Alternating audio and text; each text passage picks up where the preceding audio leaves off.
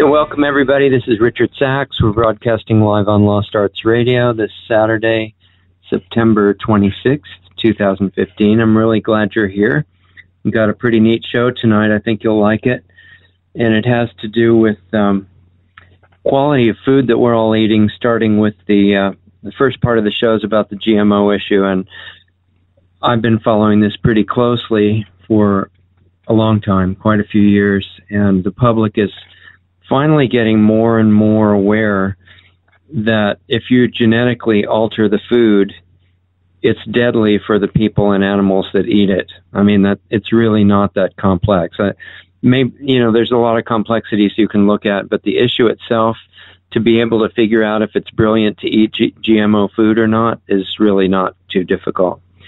So the public's waking up to some of the the deepest truths are, are often the simplest ones and so communities and cities and counties and states have been um, working with their governments because the governments often just either don't care or they're paid off apparently by somebody that wants the GMOs to actually get into the food supply, which is a major crime and should never be allowed. I mean, they're they're talking about labeling now because they think people would not buy the GMOs so much if it says genetically engineered on the package, which I think is probably true. That's happening in Europe, and it makes it much less worthwhile or not worthwhile at all for the GMO um, fake food producers to put it out and pay all their fake scientists to make believe that it's edible and that sort of thing. So the the labeling movement has been important in that way, even though, in my opinion, it should be banned from the planet immediately. If humans still had common sense, that would be so obvious. Um, but to be realistic and have a strategy that works. The labeling movement has been a very powerful idea because as it gets labeled, um, people don't buy it so much, even if they're really not sure why. They're just suspicious, and so they tend not to buy it. The food that's labeled with GMO ingredients. And obviously, the biotech companies totally agree with that because they spend tens of millions of dollars to avoid GMOs being labeled. So now what they're doing in addition is spending even more money to buy off the congressmen and, and give them uh, fake information about how scientific GMOs are and how they're going to save the world from starvation, even though they're actually going to do the opposite. And um, it's pretty intense fight at the moment. But what Jeffrey brings, in addition to this vast experience in the whole movement and being one of the top educators about GMOs in the world, who's written some great books and um, is about to come out with a new movie. And for that, you need to go to uh, secretingredients.com and please support the finishing of this movie to get it out as fast as possible. Every day really matters now. And uh, anyway, what Jeffrey is saying that's super encouraging is that if consumers get more and more educated, which they are, and he's a big reason for it, about GMOs, and they stop buying them, then even if the biotech companies that, you know, are fine with us all getting sick and dying from eating their product, even if they win by corrupting all and paying off or threatening or whatever they do, all the senators and congressmen to vote uh, to stop GMO labeling, which is basically what they're doing or what they're on the verge of doing. It's already been passed by the House and they're working on uh, the Senate right now. Even if that happens, Jeffrey points out that if the consumers vote with our dollars and just don't buy this stuff, then it won't matter whether it's labeled or not. You know, everybody will be buying certified organic food, which won't uh, contain GMO ingredients, and those companies will um, not be able to continue their business. This is a really important point. So anyway, without using up any more of our time, uh, let's go and, and hear Jeffrey, and I'll I'll talk to you after that, and then we'll get into the next amazing guest that happens after that. But I've been trying to get uh, Jeffrey Smith on the phone for months, uh, on the phone, on the show for months. And uh, we finally managed to do that. He's incredibly busy trying to work all over the country and other parts of the world to uh, wake people up as fast as possible so the GMOs, one way or another, can go away, which is the only suitable thing for them to do. So listen carefully. Please support the finishing of his movie, um, secretingredientsmovie.com. and he's, we we cover really a lot of important information on this discussion. At the very end, if it seems like he's leaving abruptly, he is because I kept him late unknowingly. We got cut off so many times, which often happens for um, controversial subjects, and we just edit it back together. But it uses a lot more time, and I didn't realize he had an appointment to go to instantly after ours, so that was my fault. Anyway, enjoy Jeffrey Smith, and I'll talk to you right afterwards. Welcome, everybody. This is Richard Sacks broadcasting for Lost Arts Radio, and we have a special show tonight and a, a great chance to talk with a person who's been a, a hero of mine for a long time, Jeffrey Smith, the founder of Institute for Responsible Technology, is one of the leading voices in the world about uh, genetically modified organisms education and teaching people what GMO food actually is and what we need to do to make sure that we're not eating it and that no one else is either. I'm really anxious to get into that discussion, but before we do, it seems like it would set the tone really well to look at, well, not look at, but listen to a three minute trailer for a new movie coming out. And it's called Secret Ingredients, a movie that you'll definitely want to see. And uh, later on, we'll direct you to the uh, URL where you can actually see the video version of this really great trailer, and I would recommend that you do that right after the show as well. So let's at least listen to the audio, and then we'll get on to our, our visit with Jeffrey Smith.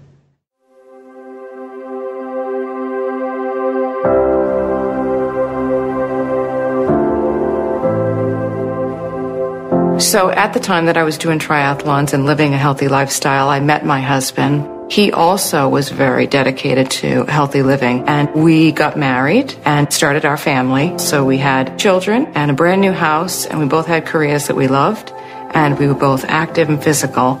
And that all came to a screeching halt in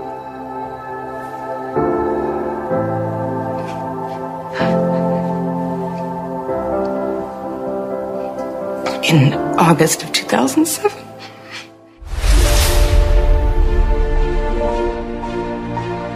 I mean, after all, it's a poison. The biggest fraud in the history of science. And we are the guinea pigs.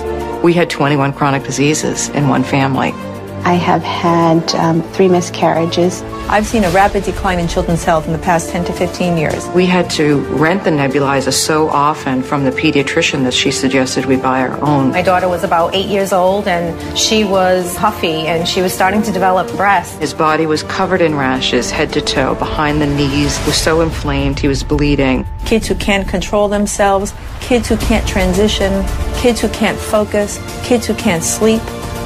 A well respected neurologist said that he would never speak and that he would never have peer relationships or social experiences, potentially not live on his own, never get married. Why is a chemical company in charge of the food? So many diseases and disorders have skyrocketed since the introduction of GMOs and Roundup in the food supply in the mid 1990s. Asthma, allergies, autism, ADHD, anxiety, autoimmune disease, and that's just the AIDS. I've removed genetically modified food and had kids eat all organic food. No pesticides, no GMOs. And the changes I've seen are remarkable. So we went from, you know, your son has autism, your daughter has asthma, to no, they don't. Her belly is completely flattened out and she's stopped that accelerated development. You know, she is where I feel like she belongs as an 11 year old little girl. Stephen now is an articulate, lovely, straight A student with many friends, active, plays sports. He participates in a mainstream classroom without any supports, no speech therapy, no articulation disorder, no physical therapy, no occupational therapy. He does all the things other children do with great ease and elegance and grace, and he is perfect. I am 22 weeks pregnant and I feel fantastic. This shift can only come by a global desire to change our food supply. The removal of genetically modified foods, glyphosate, and pesticides was the fundamental, the foundation for why we all recovered.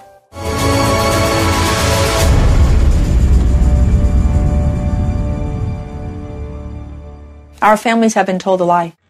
So, this is a pretty intense emotional trailer that we just heard the audio from, and I think a couple of important points for, from it are, are first of all the understanding that none of us should be eating GMO ingredients in any of our food, but the other is to make it very clear that this is not just an intellectual scientific issue.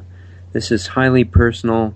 It has an emotional impact on every aspect of our lives, and everyone has, has a stake in this who eats food from the American food supply. So we have a lot to talk about, and it directly impacts every member of your family, and that's that's what we're going to get into. So, welcome, Jeffrey. I'm I'm really pleased that you had the time to spend with us tonight. It's going to be sure. Thank you very much. And I wanted to say that if people want to see the visual visuals of the trailer, uh, it's at secretingredientsmovie.com. The name of the movie, which is under production, and we're actually I'm the uh, co-producer and co-editor with my partner Amy Hart. We're actually raising funds now to finish it. We've gotten through most of the shooting, and we're well underway into the editing. So we're on a crowdfunding program, and at secretingredientsmovie.com, you can watch the trailer, make a donation, and learn more about the film. And it came um, it came about interesting in an interesting way. Um, my earlier film, Genetic Roulette, which was seen by millions of people around the world, it was played on PBS over 300 times.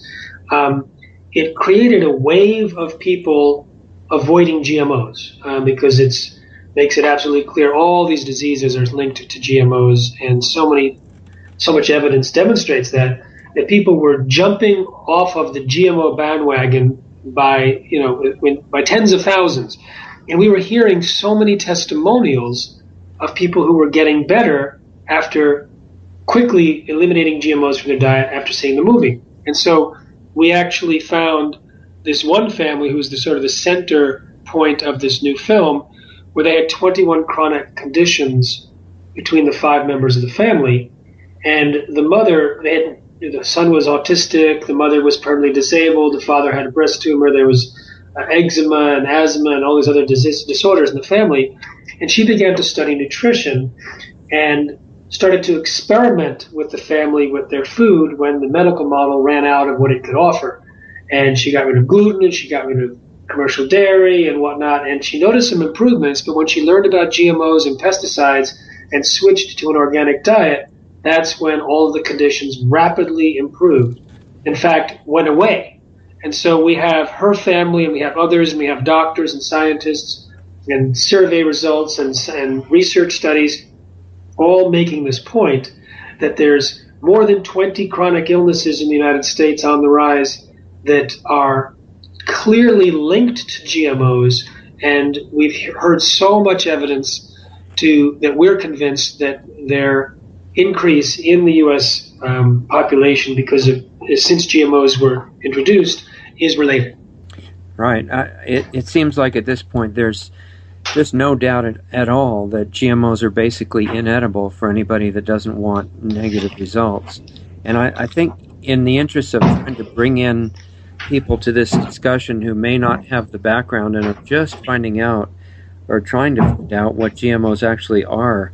Can we do a little bit of review of what that is? And then, if they're really so bad, how in the world is it that they're being allowed in the food supply when people are trusting these agencies? We have the FDA and um, USDA and all these agencies that have promised to make sure that nothing unsafe gets in the food supply. But I'd like to start with what they actually are so everyone's up to speed. Well, with genetic engineering, you can swap genes between species. So you could take a gene from a spider and put it into a goat in the hopes that you can milk the goat to get spiderweb protein to make bulletproof vests. I'm not making this up, this was actually done, and it was not successful.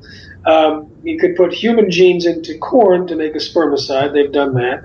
They can mix and match across species, across kingdoms, and that way they can create completely new organisms that were not part of the billions of years of evolution, but they can create them, you know, in an instant. Uh, in addition to that, the process of genetic engineering itself, of the insertion process, plus in the case of plants, cloning the cell into a plant, creates massive collateral damage in the DNA of that plant. And so, at the end of the day, if you start with a natural corn plant, for example, and then you equip it with a pesticide gene in every cell, you not only have a gene sized spray bottle in every cell of the plant, you also end up with 2 to 4% of that DNA different. And that's mostly mutations, which can be hundreds or thousands of mutations up and down the DNA. And like in the case of Monsanto's corn, you have a new allergen that's never been in corn before. In the case of their soy, you have seven times the amount of the normal uh, existing soy allergen that's found in normal soy. You can have toxins. You can have nutritional problems. You can have carcinogens uh, turned on. So it's like uh, this is one reason why I called my first my, my recent movie genetic roulette because you're really spinning the wheel and wondering what you're going to get when you do this genetic engineering process. Now, these side effects were not lost on the FDA scientists who were asked to evaluate the technology back in the early 90s. Uh, they tapped a group of scientists at the agency and said, Can you please evaluate GMOs so we can create a policy from your evaluation? Unfortunately, they did not base the policy on the evaluation. The evaluation by the scientists pointed out that GMOs were different and dangerous and could lead, as we said, to allergens, toxins, new diseases, and nutritional problems. And they urged their superiors to require long term safety studies, including human studies, on every single GMO introduced. But the White House had instructed the leadership of the FDA to promote GMOs. And so they recruited Michael Taylor, Monsanto's former attorney, to take a new position designed specifically for him, the Deputy Commissioner of Policy. And as the Deputy Commissioner of Policy, he was in charge of determining and setting forth the policy on GMOs. And when the scientists wrote their suggestions and passed it on to the upper management, essentially Michael Taylor, then every time they got a new draft back, more and more of their concerns were removed systematically until eventually one scientist complained that there was no science in the policy whatsoever, that it was a pro industry document that ignored the side effects, and uh, he predicted that if you're not going to be requiring any safety studies, which is ultimately what they did, then even the basic safety studies would not be done, which is also true. So we have a situation where the FDA, basically captured by Monsanto, allows Monsanto itself to determine whether its own GMOs are safe and Monsanto could put it on the market without even telling the FDA or consumers. Michael Taylor then went, then after leaving the FDA became Monsanto's vice president, and now he's back at the FDA in the Obama administration as their food safety czar. So we don't have an independent organization in the government that is protecting our health. We have an enforcement wing of the biotech industry, and that's not only reflected in Michael Taylor's tenure at the agency, but also people at the USDA and at the EPA and another place, and, and also even the State Department. If you look at the WikiLeaks, the State Department is deployed as a marketing arm of the biotech industry.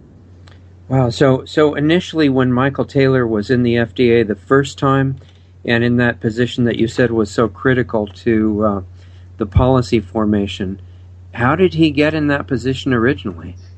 Actually, it was his second time. First, he was as part of the FDA. Then he moved to King and Spalding law firm, and his clients included Monsanto, as well as a biotechnology council. Now, for the council and Monsanto, he was tapped to design a regulatory framework that would be the most friendly for the introduction of GMOs. So he created a hypothetical framework that would just wave GMOs onto the market.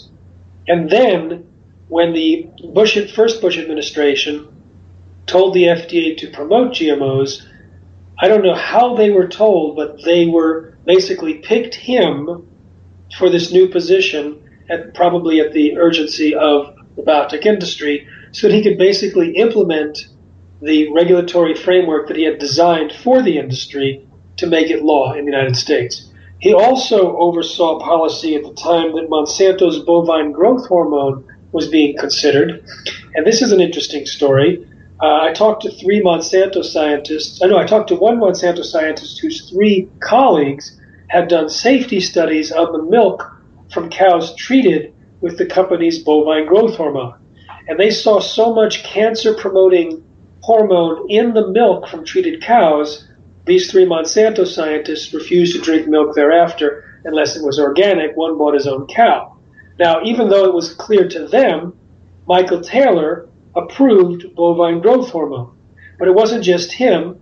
Uh, a, a, researcher from Monsanto who did research on bovine growth hormone for the company then was put in charge of a division at the FDA that reviewed her own research. Another contractor that was working on RBGH for Monsanto became the FDA's chief reviewer. And there was also a veterinarian who was alarmed at they were, the fact that they were going to be putting RBGH in the market with so few safety studies. He started ordering more tests, and he was fired because he was holding up the approval process.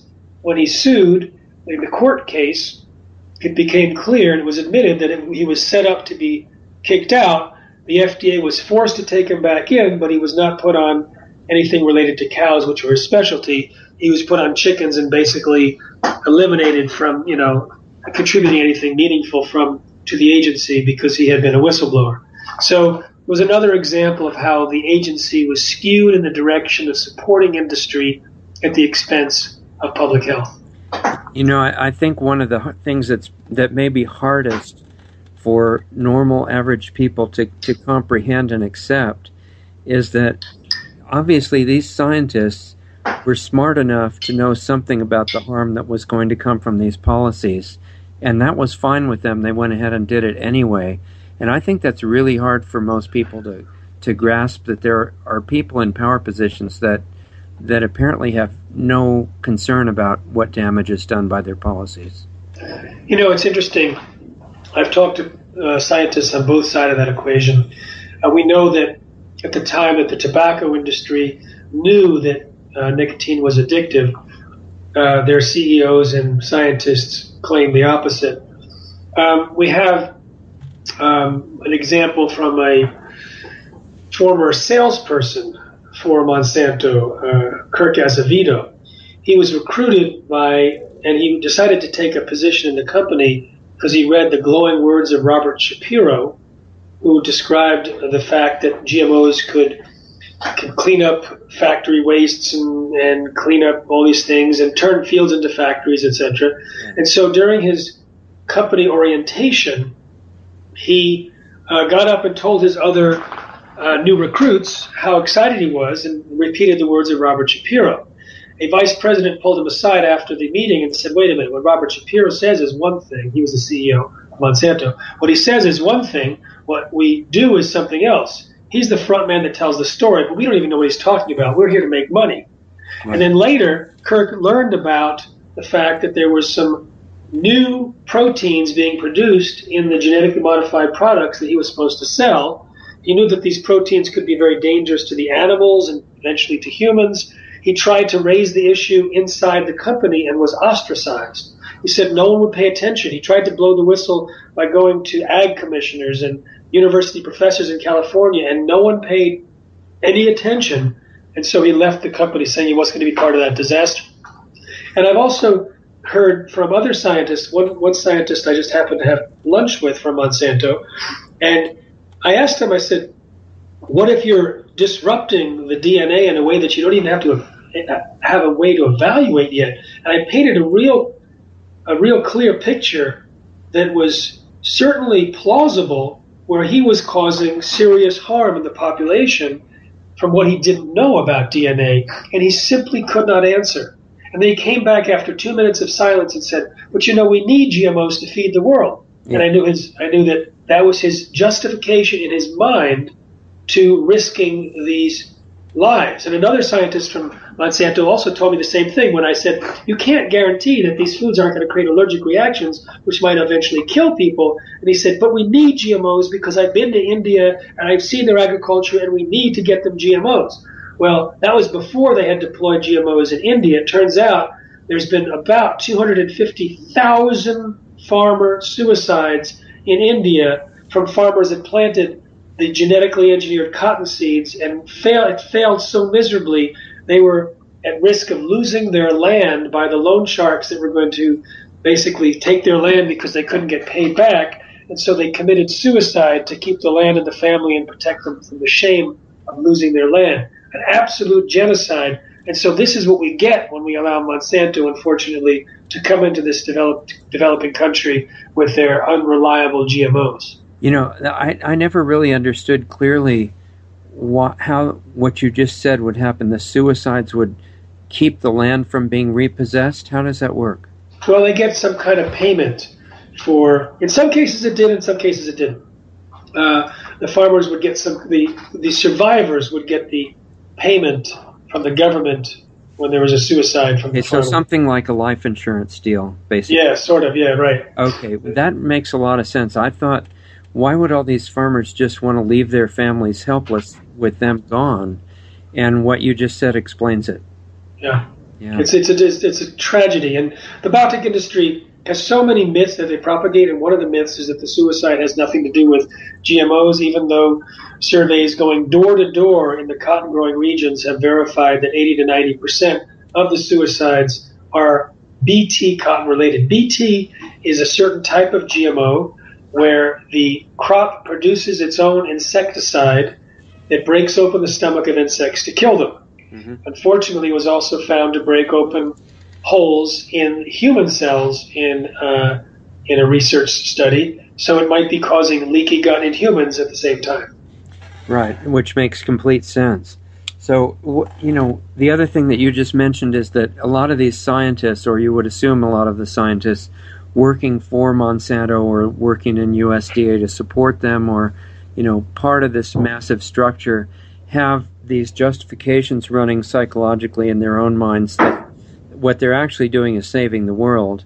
But the ones at the top of the company probably know better than that.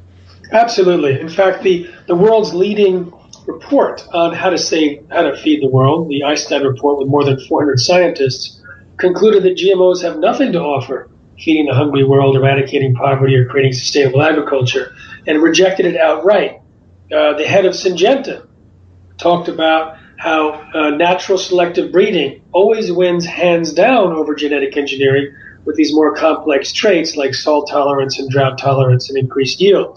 So they know that the Feed the World exercise is just a public relations scam, uh, but not everyone working for the for the company knows that. But we also have these.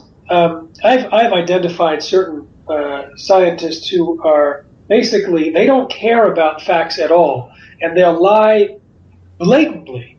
And one was caught by the New York Times uh, just about three weeks ago, uh, Kevin Folta, who's been saying for uh, years he gets no money from Monsanto. All of his criticisms of, uh, those of us who are con- concerned about GMOs are completely independently motivated. Turns out, because of a Freedom of Information Act, we found out that, or the, the, the New York Times found out that he was paid twenty-five thousand dollars to be a promoter of GMOs and Monsanto, and he lied about that, even as a test as testifying before boards in states, pretending that he was completely independent. But it would also implicate implicated Nina Fedoroff, who was the um, science advisor to Hillary Clinton and to Condoleezza Rice, and was the head of the American Academy for Advancement of Science. It implicated her as part of this cabal of people producing these talking points. It implicated people at Cornell University and University of Mississippi. It uh, implicated uh, a guy who writes at Forbes as a, as a blogger there. All these people who we knew for years were part of this talking point echo chamber. It all came out in this article, but unfortunately, the writer decided to focus on these low level people like uh, Bruce Chassy and and um, Kevin Folta and ignored the Nina Fedoroff uh, uh, stature because she she is one of the like highest ranking members of this cabal, as well as the universities that get a lot of money from the biotech industry that participate in these talking points that are not true but are echoed at high volumes to protect the fortunes of the biotech industry. Right. So basically, we have a subset of people that is willing to say anything to further the agenda, whether it's true or not, being irrelevant. And we have another subset of people that intersects with that one that want to be in positions of control over others. Yeah, we have the, again, I call them the liars and the lied to. Now, it's sometimes hard to, to tell which is which. For example, uh, Neil deGrasse Tyson came out, was interviewed, and said, "Oh, GMOs are just like what we've been doing for centuries," and I and that came out on YouTube, and I wrote a, I, I videotaped a YouTube response explaining, "No, Neil, that's actually not true." The FDA scientists that reviewed GMOs said that GMOs are different and lead to different risks, and trying to force the conclusion that GMOs are the same is like trying to force a square peg into a round hole. They were responding to Michael Taylor's policy, which falsely claimed that the agency wasn't aware of information showing that GMOs were significantly different. And that was the basis of the policy saying no, G- no testing was necessary, no labeling was necessary. But it was a lie. It was exactly the opposite of the scientific opinion of those experts at the agency. But it became, that lie became national policy, and it's echoed even in the false understanding of scientists like Neil deGrasse Tyson, who's well known but obviously misinformed. So, is the way the system is set up now in the agencies and in the private corporations such that honest people with good motivations are not going to get into those positions of power to straighten things out there? So far, that's the case. Um, the head of the USDA, uh, Secretary Vilsack, was the biotech governor of the year in Iowa the head of USAID was a you know GMO cheerleader. The person that um, negotiates international trade deals for the U.S. for agriculture there was a lobbyist for the biotech industry. Um, there's so many. I mean, there's a long, long list. Mm-hmm. So uh, right now, the government. It's hard to know where the government ends and GMO industry people begin. So there's a marriage there in that particular industry, and uh, it's interesting that under Clinton, Secretary Glickman, uh, Dan Glickman said that what I saw uh, generically from the pro-biotech side was the attitude that the technology was good and that it was immoral to say that it wasn't good because it was going to feed the hungry and clothe the naked. And if you're against it, you're Luddites. And he said that basically was the side our government was on. You felt like you were an alien or disloyal by trying to present an open minded view. That's a quote. Now, he also said that when he did, and it was it was written into his speeches. The whole pro GMO dialogue was written into his speeches, and when he diverted from that, improvised, and raised questions about the technology, he said he got slapped around by not only the people in the Clinton administration but by industry, and believed he was going to lose his job until Hillary mentioned to him that she liked his speech, and then he knew he maintained a job. But Hillary, it turns out, she one person that runs her campaign was a Monsanto attorney. She had a uh, fundraiser in, in that attorney's office. She's spoken before the biotech industry organization saying that GMO is basically cheerleading for GMOs. So it turns out she's pro GMO and also probably misinformed. So it's hard to, you know, like you say, it's hard to get people who are uh, open minded and informed in any position of uh, responsibility, given the way that they're insulated at that top and basically pummeled with this talking point echo chamber. Right. And, you know, you would certainly hope that their positions are because they're misinformed, but there's also the possibility that they're fully informed and they're in favor of it anyway. It's true. And I've heard various people talk about GMOs that they've heard from government bodies about GMOs as a method for exerting power over developing countries, etc it makes sense. I mean, if you own the seeds, you own the food, and if you own the food, you can control the people. A lot of people talk about that. Mm-hmm. So uh, it appears that the the the security side of the U.S. may be in favor of GMOs uh, if they can control them. But what happened is, it's interesting. The open the open gate policy for GMOs may have backfired already because we have no requirements to test for the safety of imported GMOs from other countries. Mm. So there's rumors that China is producing genetically modified uh, crops that we're importing that we don't even know which ones they are. We don't know what they're genetically modified to do. We don't know if they've been tested for safety or if they're even purposely a problem.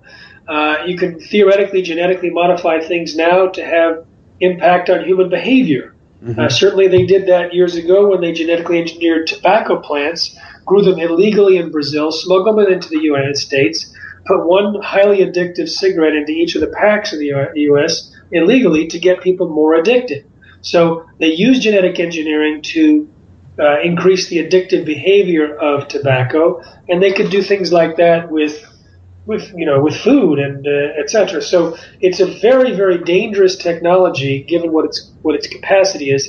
It's at the infant stages. The number one effect of GMOs are surprise side effects, and the regulation is almost non-existent.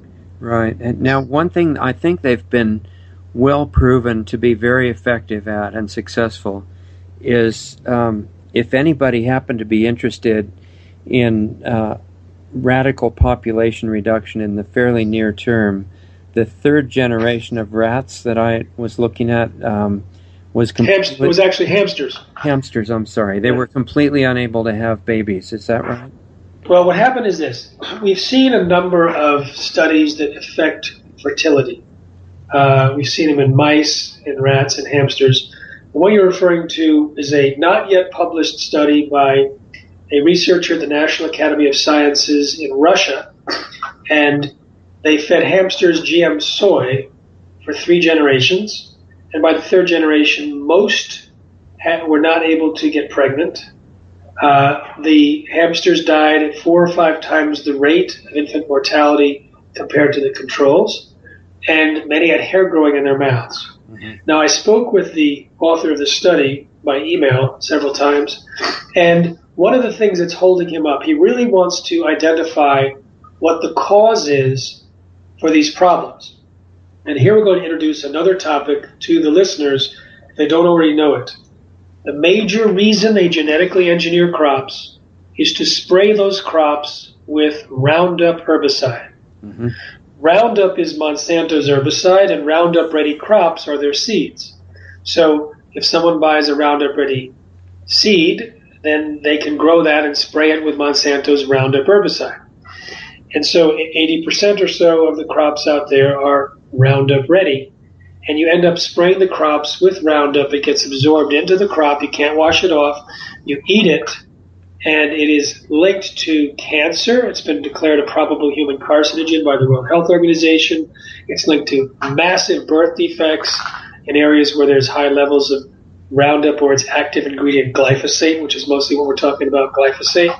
It's linked to an endocrine disrupting uh, properties. It's an antibiotic, which means it can mess up the gut bacteria balance, killing off the lactobacillus and the bifidus and the stuff we pay for, and allowing an overgrowth of the pathogenic bacteria. It damages the mitochondria. It can mess up the hormonal balance. It can the balance of neurotransmitters like serotonin, melatonin, and dopamine. It can result potentially in the reduction in vitamin D and the inability of the liver to detoxify. And it can it can take minerals out of circulation in the body and tie them up so that they're not able to be used by the body for key functions.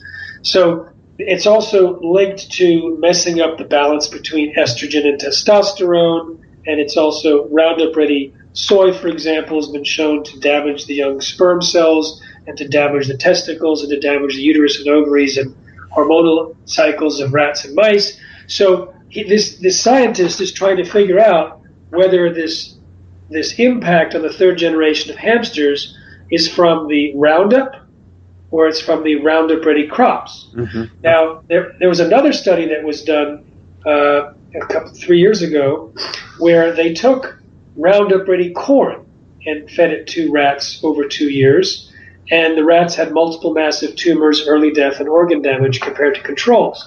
But they also wanted to know whether it was the Roundup or the corn, and so they had two other experimental groups. They had a group that just ate the corn, the Roundup Ready corn, that had never been sprayed with Roundup, and that group also had multiple massive tumors, early death, and organ damage. Hmm. But then they had another group of rats, actually several, that ate that had no GM corn, just natural corn, but they had Roundup spiked into their drinking water wow. at very, very, in some cases, very small levels. And they also had multiple massive tumors, early death, and organ damage. So it turns out they found out that it was both the Roundup and the corn that caused the problem. Okay, yeah, that's that's pretty conclusive. So, so the man with the hamsters doesn't really have to worry about the confusion anymore. The answer is known, right? I actually really wanted him to publish what he had, even if he didn't have the causative pathway, but he was holding out. Yeah, yeah. Wow, that's interesting. So, I mean, if people can kind of jar themselves awake to look at this without the um, what do I want to say the like the familiarity that that makes them what is it called a normalcy bias, right? That things can't be that strange as what you're just really describing. Wow, I haven't heard that since I took statistics in graduate school. Yeah. Yeah. So it's like um, there, there's a tendency to want to believe that the government is protecting us. There's a tendency to want to believe that companies can't be that dismissive of health dangers. Um, but uh, in a in recent interviews, there was an interview with Dr. or with Anthony Samsel, a scientist, and he was given by the EPA 15 to 20,000 sealed documents uh, that they had received from Monsanto on safety studies. And they somehow were able to get the EPA to seal those documents so no one else saw it, but he was able to get it. And he said they knew, they knew that there was cancer to all these different organs, bioaccumulation in all these different organs, uh, low dose effects on all these different organs, and yet they they continued to uphold the lies of the company that none of it was true, even though they had the proof that it was true. Mm-hmm. And I was just talking to Anthony yesterday and listening to one of his his interviews, and um, it was clear that uh, uh, the industry knew, the government knew, and yet they hid the evidence. So, how much of the success of biotech companies, uh, notably Monsanto, but also Syngenta and Bayer and all the other ones that work with them, how much of that success do you think is due to and perhaps dependent on, to some degree, government cooperation with everything they want to do? It's 100% because the, the Food, Drug, and Cosmetic Act in the United States is a very strong law, one of the strongest in the world, to protect the safety of food. And it requires that any time there's an additive, a food additive, that it be tested and labeled as such. And there's only one way that an additive is not allowed, would, be able to be exempt from these requirements, as far as I know, and that is if it becomes, quote, generally recognized as safe. Now, in order to be generally recognized as safe, there's two criteria. And one is that it has to have plenty of peer reviewed published studies or the equivalent, and overwhelming scientific consensus of safety. Now, when GMOs were introduced, the FDA did something that many consider to be illegal. They said, we will give the companies themselves the ability to determine whether their foods are generally recognized as safe, hmm. even though it had no history of peer reviewed published studies and it had no consensus of safety. Even the scientists working at the FDA said GMOs were different and dangerous and needed to be tested.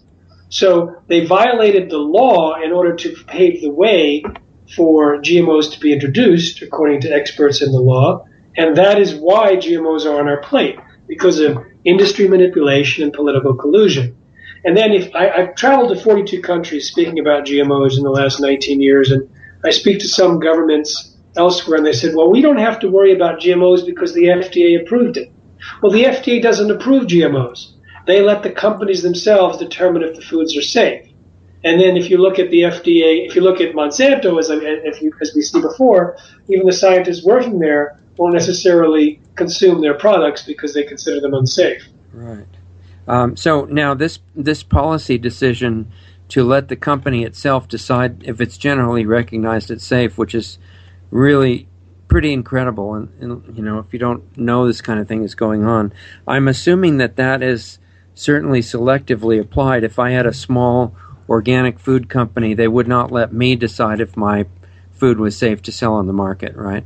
Well, um, if it's the thing is this, what's different about that? I mean, you could you could grow uh, broccoli and sell it on the market, and if you wanted to be organic, then you have to be certified and tested, or, or not tested but inspected. Mm-hmm. But what's interesting is that it's not normal, if it's genetically engineered, it's not the natural normal broccoli. Now, fortunately, broccoli is not genetically engineered. There's only nine GM food crops, and I'll name them because some of your people are already nervous and wondering what they can eat and what they can't eat. So let me yes. make sure that that's clear.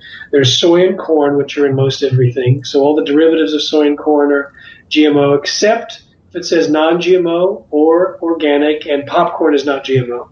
Uh, so your corn syrup, corn, you know, maltodextrin, dextrose, things that may come from corn will genetically engineered if, if produced in the in North America. You have canola oil and cottonseed oil. You have sugar from sugar beets. Now, most people don't realize that most sugar in the United States is from sugar beets, and as well as cane sugar, but most is sugar beet sugar. So if it says sugar on the on the uh, ingredient panel, it's a combination. Uh, there's also alfalfa, which is used as animal hay. There's papaya from Hawaii or China, and there's some zucchini and yellow squash. Next year, they want to introduce apples and potatoes. So those are the only nine crops currently on the market, plus the apple potato combination for next year.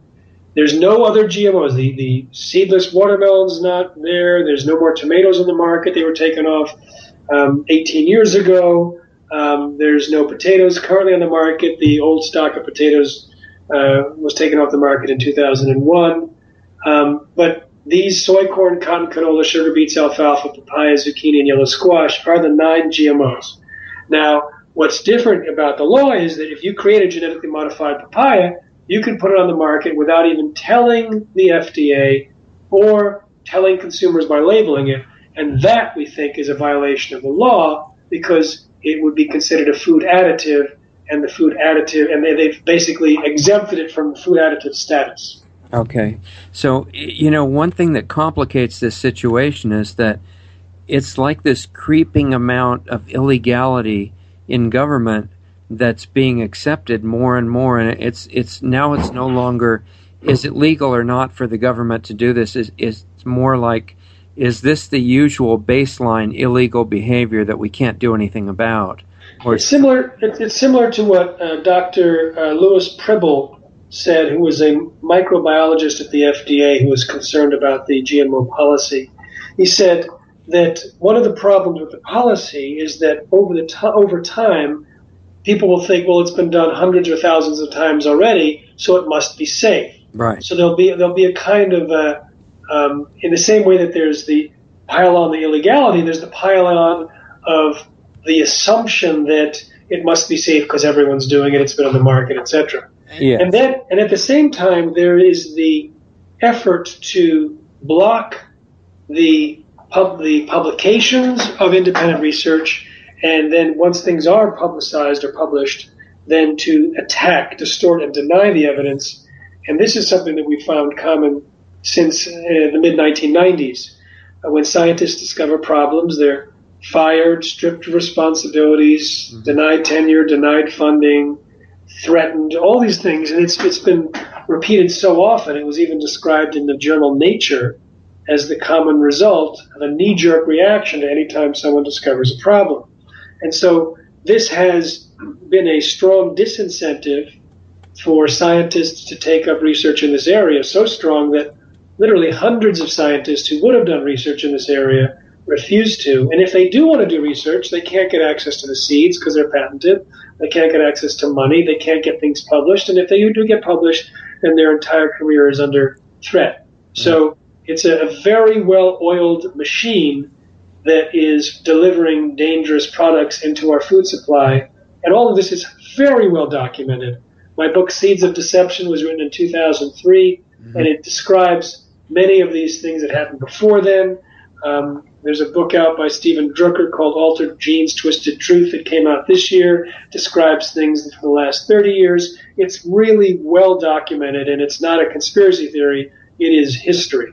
Right. And the reason I asked you how much of it depends on the total cooperation between the government, which now is literally a web of corporations itself, and the private corporations is because, I mean, I know this is kind of old fashioned to think that the Constitution is still in force, but theoretically it's still the law of the land for the federal government's restrictions.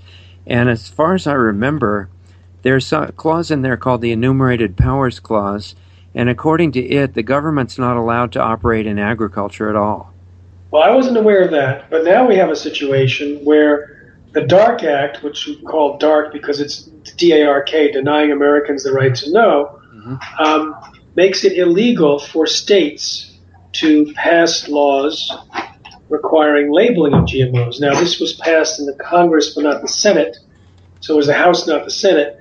Um, and the Senate will take it up soon. And so we encourage people to call senators with the information about the Dark Act, which they can simply Google online, and, and urge them not to vote in favor of the Dark Act. Yeah. Um, but right now, like Vermont passed a, a, a law requiring labeling, and if this Dark Act passes, then that becomes null and void.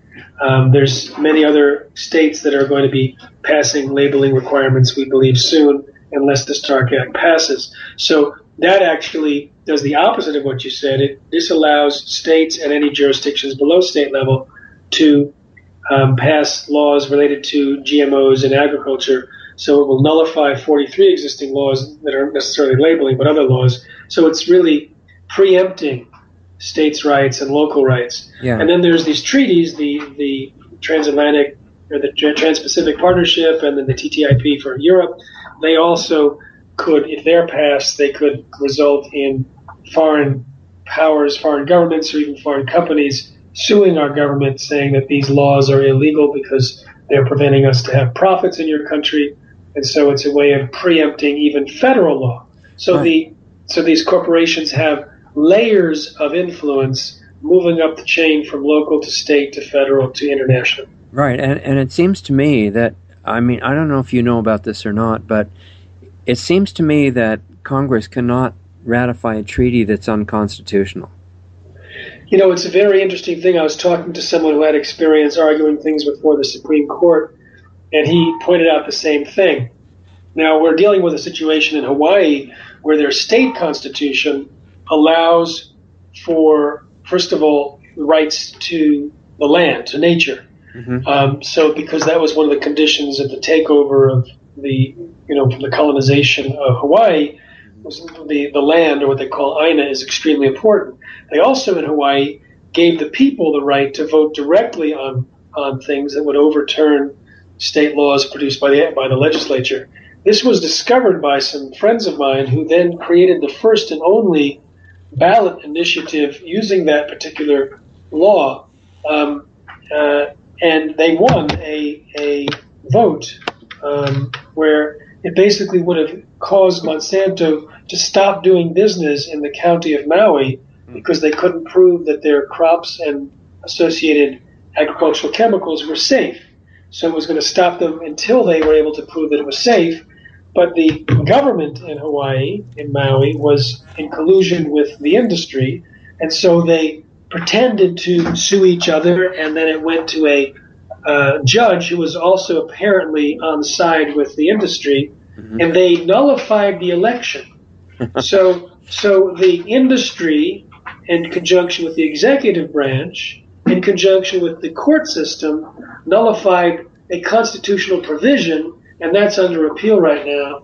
And we hope that the the appeals court will then nullify the effects of their their other the judge that that basically ignored the will of the people and ignored the Constitution. But it's that it's that kind of insidiousness. It's that kind of of uh, penetrated uh, influence.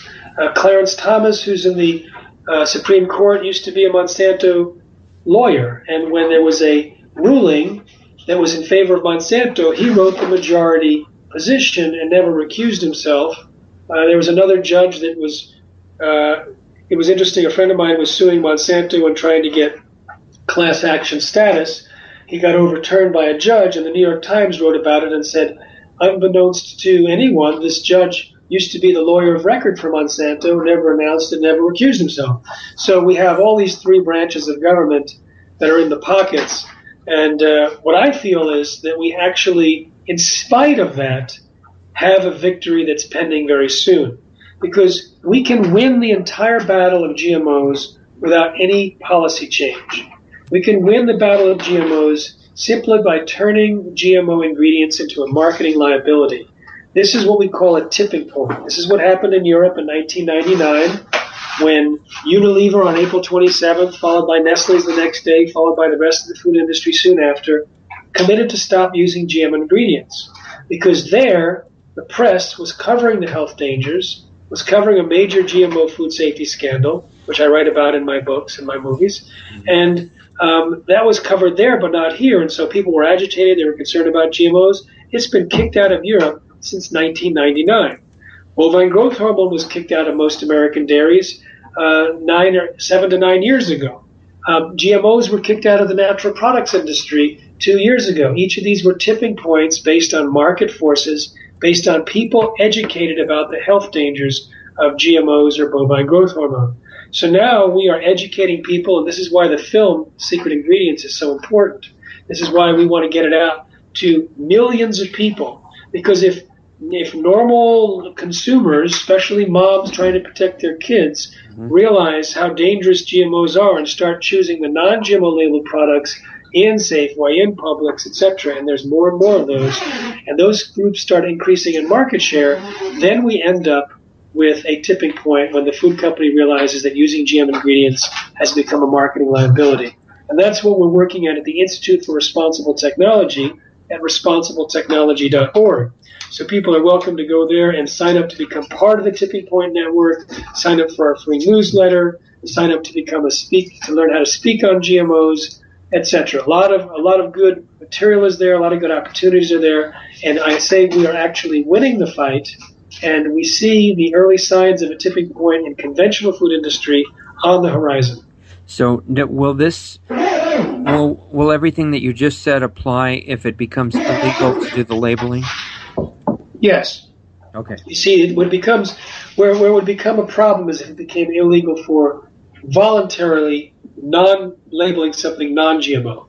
You see, we got rid of bovine growth hormone without requiring labels saying that products are, are are from cows treated with bovine growth hormone because so many dairies were announcing voluntarily on their label that it was made without the hormone. Now we have over 32,000 products that are verified non-GMO, boasting on their packaging that they're non-GMO, and we have Cheerios and grape nuts, and I can't believe it's not butter and Smart Balance and soon Hershey's and, and also a new Similac brand, all declaring non-GMO, and that could provide the difference needed for consumers to drive the tipping point.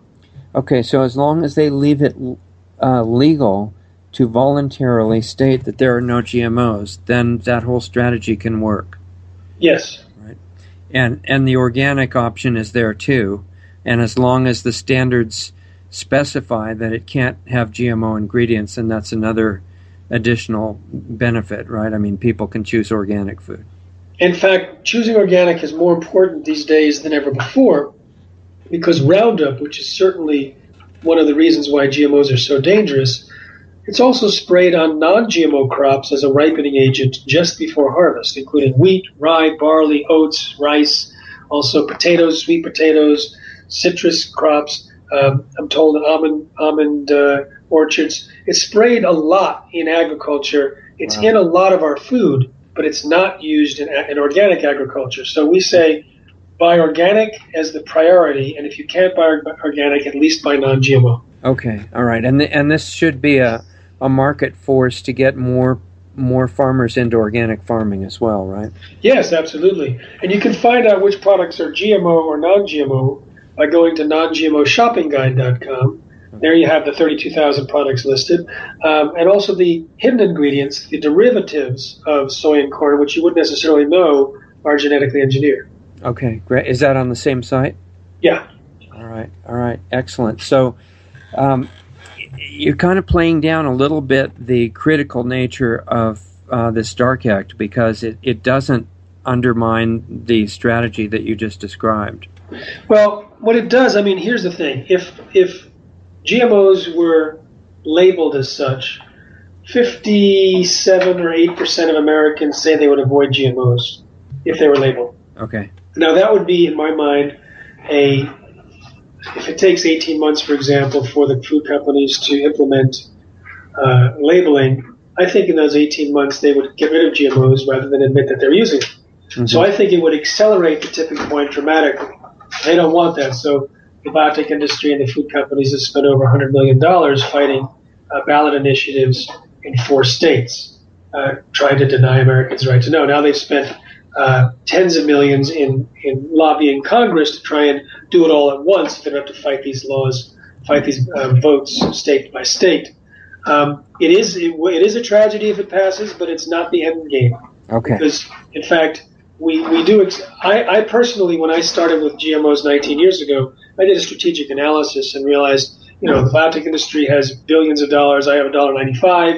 They own Congress, but their weak point is the consumer concern for the health dangers, and that's what they confirmed also in Europe when the eruption of the concern came out. Uh, Burson Marsteller, who's their PR firm, uh, you know, for for all these nasty chemical producers, mm-hmm. said, you know, the concern is going to be about health and about long-term environmental problems, and don't engage in debates, etc. Right, right, right. Okay, so that's why we're in touch with Ronnie Cummins, for example. He was saying uh, in a, a release this morning that Monsanto's activity now with the Senate is uh, educating them in quotes that this will actually provide fair and accurate labeling for all the food and end the whole issue in a positive manner. And he's saying, he's suggesting that some of the senators may actually believe that, which I found hard to imagine. Well, you know, I've, I've spoken to politicians around the world, and um, a lot of them are just, you know, when you hear the same thing from many people, um, they, you know, the biotech industry does a lot of underhanded stuff. They were contacting people who are pro GMO labeling and saying, call your call your senator or call your congressman to tell them to pass it because it'll give us labeling. Yeah. You know, so that people yeah. were contacting them for the wrong information. Yeah, yeah, amazing. So the the people in the Senate are not necessarily real experts on this subject. They're just noticing what impressive authorities tell them which yeah. pieces of information. Yeah. Okay. All right. So basically, the the most important thing, besides, if possible, not getting this bill passed, is that everybody needs to be very educated and take the time to read labels and not buy GMO. Right. And I also think people, you know, people listening to this show should not only do it for themselves, but they should do it for others. Um, up to this point, the most effective tool for convincing someone to avoid GMOs has been the movie Genetic Roulette, which is available at geneticroulettemovie.com. The movie that we think will be even more powerful is Secret Ingredients, which is available which is available to donate to at secretingredientsmovie.com. Genetic Roulette was seen by millions in every country, uh, played over 300 times on PBS. It was very, very effective, but it didn't have the personal side, the stories of individuals getting better. And this is what this particular movie has. And it's, so it's going to become a lot more viral, a lot more sticky, so to speak, a lot more effective. Right. And so um, that I think that you know when it comes to me in terms of my priorities, my priority is to create a massive consumer education campaign using the most effective tools that we know about to change people's diet so that using GMOs becomes a marketing liability for the food companies so they get rid of it. Yeah. And that's and that's already happening. 15% of Americans in 2007 said they were avoiding or reducing GMOs already. 40% said it last year. Even if not all that many people are doing what they're saying, it shows a, a swelling, a, a, explosion of anti-GMO belief and associated, um, you know, desires. And this is where this is exactly where we're going to win ultimately. Right now, uh, it occurred to me to ask you the question too: What happens if this sentiment against GMO spreads enough so that people even start demanding non-GMO corn and soy and things like that that are almost totally available at this point? Do they the farms start uh, arising that that can turn that around even with those crops? Um, yeah, I mean, absolutely. It just takes some, some growing seasons to replace because you know you just grow out enough non-GMO seed and you just plant that. Right now, most of the soy foods sold in the natural food industry are non-GMO, and you know there's 93% of the soy or corn, but there's still 7% that are not, and most of the soy or corn is used as animal feed and some are used as biofuel. So right. it's just a question of uh, once we tip the marketplace, the seed dealers are going to have to produce non-GMO seeds. So within a few growing seasons, it'll it'll reverse trend. Right. An- another thing that came up for me was a question on um, people growing food organically. If they're going to use manure in their garden to help the soil, they have to check on what animals it came from, right, and what they were eating, because absolutely the genetic material goes into the manure, I would assume, right? Yeah, yeah. In fact, the chicken manure contains a lot of glyphosate in it. Right, right. Yeah, the glyphosate is the other thing. So um, it just needs the the rising of another a much stronger organic industry. It sounds like Just Um, uh, producing the what's needed for the market. Well, to me, and, and and what happens is, if you go to the demand side, you'll be most effective. If you try and convince the supply side, you know, try and convince farmers to change their their habits, Mm. then you're going against a huge disinformation campaign where most of their information comes from the biotech industry, the seed dealers, the chemical dealers, the land grant universities, the extension agents, the farm journals, the farm bureau, etc. They're all basically funded or the biotech industry themselves. But if you go to the consumers, and so that the cons- the demand is for more non-GMO and organic, and the premiums are higher, they're all, all the farmers are economists. They're always looking at future prices and stuff, and they realize, oh my God, I can make two bucks more, or five bucks more, or three bucks more per bushel, depending on whether it's non-GMO, organic, etc. Right. And that will that'll move the market uh, the easiest way, just as long as we have enough non-GMO seed to go around. Yeah, exactly. So that that'll be at a premium, and that will bring more people into the market producing it. I would think. Yes, definitely. And and how how are you planning on disseminating and promoting the new movie? Uh, I'm not sure. Uh, it the last time I did genetic roulette, um, it was out just before Prop 37, which was the vote for labeling in California. So I rushed the production and rushed it into distribution. We had a, a, a free showing week online, co-sponsored by Mercola.com and other groups, and we had 1.2 million views within a week. And then when we added, when we extended a few more weeks, we had more than 2 million views. Uh, and then we got it through uh, PBS, and it's been played all over, and it's been rec- it's been translated and played on many um, international stations. Um, but I don't know exactly how we're going to do secret ingredients. We have some ideas, but uh, I can't share those ideas publicly because I know who else is listening. Okay, no problem. yeah, I, I've seen some really interesting debates lately too on YouTube between uh, Monsanto representatives, and I think one of them actually was a, a girl about 15 years old. Are you familiar with that one? Rachel Parent. Um, I just was with her two weeks ago. Um, she's from Canada. Okay. Um, she has the, the Kids Right to Know group there, and she started when she was 13. Wow, wow, yeah, she was really impressive. I think the uh, Monsanto representative asked her if she was really a lobbyist and what kind of uh, ulterior motives she actually was hiding. Yeah, actually, it was a it was a Canadian show host. I think I don't know if he was actually from Monsanto, um, but uh, he was one that had been convinced, and so uh, she actually won that discussion, won that debate. Yeah, exactly. And I guess they're still trying to tell people that this is the way to feed the world, right? That's why we need GMOs. Um, that's one of the th- yeah one of the things that they they're pretending. Yeah, and it turns out that almost there there are no advantages in the growing ability or the resistance to drought or um, the yield amounts or any. That's all made up, apparently, right? Yeah, the, the yield is actually lower on average than the conventional, and it also is less um, resilient to drought and bad weather. Right, right. Um, the other thing I wanted to ask you is is Institute for Responsible Technology. I think has a lot of different kinds of outreach programs going on. You know, at the same time, including. I think I saw something on your site related to kids learning about GMOs and things like that in the schools.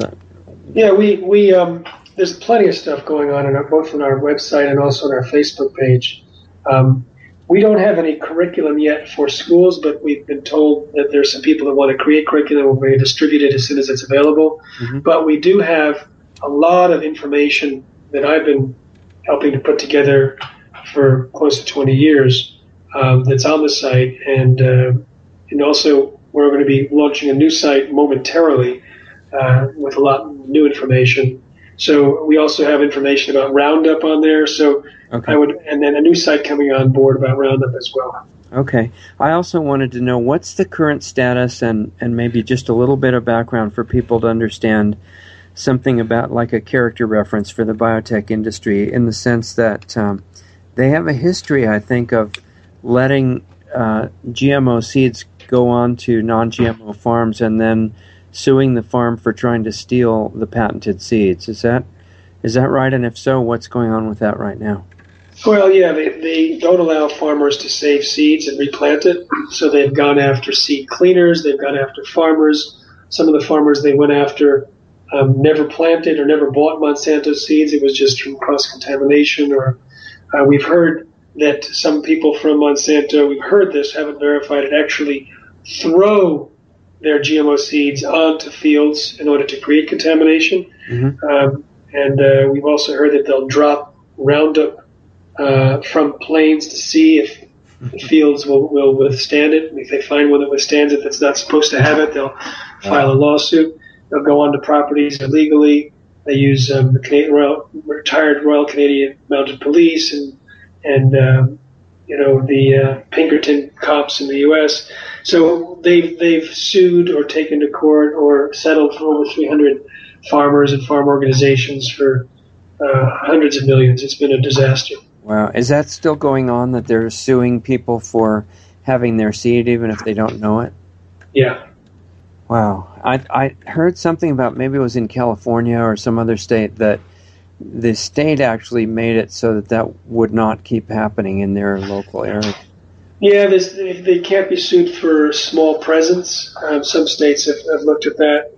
Um, it's I don't know how much is going on right now. The Center for Food Safety did a nice report on it in the past. Um, I don't haven't seen any more recent uh, evidence, but what happens is when they settle with a farmer, they seal the documents. They make sure the farmer is basically blocked from making saying anything. Okay, that's one of the stipulations for the settlement is you can't talk. Exactly. Exactly. Interesting. Um, now, the other thing I noticed is in your trailer, it it you know there's there's some major. We've been having some people on about some major causes of autism, and it sounds like uh, the GMOs are definitely something that can aggravate or cause neurological problems, including autism because that was one of the things that the people said got better when they yeah, went that was the case. I mean, in that- in my first, my other film, Genetic Roulette, actually was my third film. Um, there were three families that talked about when they went to a non-GMO organic diet, their kids got better from autism, either improved or actually, you know, dramatically improved. Mm-hmm. In this particular case, there's at least two kids that have uh, no longer the the diagnosis, the classification as being autistic. Yeah. Um, we think that um, glyphosate, the active ingredient in Roundup, may be a major contributor to the rising rates of autism. It's certainly not an exclusive contributor Mm-hmm. because there was explosions before glyphosate was used um, a lot on, on crops and in the food supply. Yeah. But it, but it, there's a lot of um, biochemical reasons why glyphosate seems to be locking into that diagnosis, the way it uh, chelates minerals and damages the mitochondria and blocks certain pathways and is an antibiotic and kills beneficial gut bacteria. It might cause leaky gut and all these different things that are already part of the diagnosis and characteristic of these autistic children. Mm-hmm. So there's been a there's been a lot of I mean I've spoken to parents and you'll see it in the film Secret Ingredients where when they take an autistic child and they change the diet, a certain percentage of those children recover or get dramatically better. Right. Not all of them, a certain percentage. And so Yeah. um, it's not a cure all and it's not something that's been proven in laboratories, but it's been certainly proven in, in people's lives Yeah. to have that effect, but only in a certain percentage. Okay. All right. So you know the the recognition now being more widespread that glyphosate itself is a, a threat to life, basically. Right, and I think I think with a as I as we wrap up the the interview, I think what I want to do is leave people on a positive note Mm-hmm. and and say this: certainly, buy organic whenever you can. In fact, I would suggest switching to a hundred percent organic diet Yeah, that's where I was going. for, for a number of weeks, and as a minimum. And during those time, during that time, take notes about your health, your sleep, your mood, your behavior. Not only yours, but if you do it with your family, the whole family. There's there's evidence suggesting that that you know when switching to organic, I've seen this over and over again with parents saying their kids no longer are acting out, they're no longer violent, the kids are school's not calling calling home and, and complaining. Some kids that were going to be kicked out of school are no longer in that position. Some kids who are having a lot of problems are now at the top of their class. Um, so many mood and behavior issues have changed, as well as sleep patterns, um, as well as many, many chronic diseases. The number one category that we found in both surveys as well as um, in hand counts of more than 125 lectures is gastrointestinal. The next one is always energy, increased energy and reduced brain fog. Then you have asthma and allergies and skin conditions and joint pain and, and mental issues or, or behavioral or emotional issues like anxiety and depression. Mm-hmm. Um, all these things we've seen have massive numbers of people have shown improvements switching to an organic and non-GMO diet. So we strongly recommend that people take notes for themselves and their family, and when they switch to 100% organic, and then see what their life is like eating real food. Okay, that's a good place to leave it. And um, I would certainly also add that everybody who's listening and everybody they can tell should go to the website secretingredientsmovie.com and uh, spread the awareness of that movie, make donations to it so it can happen sooner, and um, you know, lead by example. Do exactly what Jeffrey just said, and uh, see what happens to your family. It should be exciting. Uh, thank you so much, and safe eating, everyone. Yeah, exactly. Thank you for being with us, Jeffrey. Hope we'll talk to you again soon.